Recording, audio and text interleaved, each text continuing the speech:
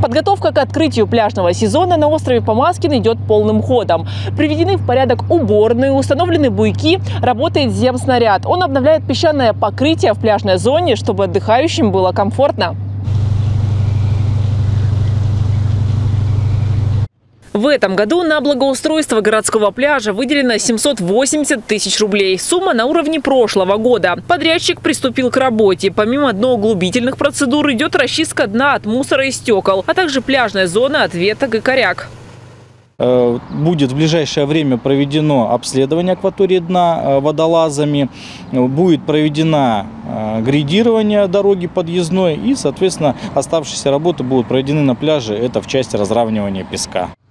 Роспотребнадзор до открытия пляжа также проведет свои лабораторные исследования. Возьмет пробы песка, речной воды, а также питьевой в фонтанчиках. Что касается инфраструктуры пляжа, то в этом году отдыхающих ждет ряд новинок.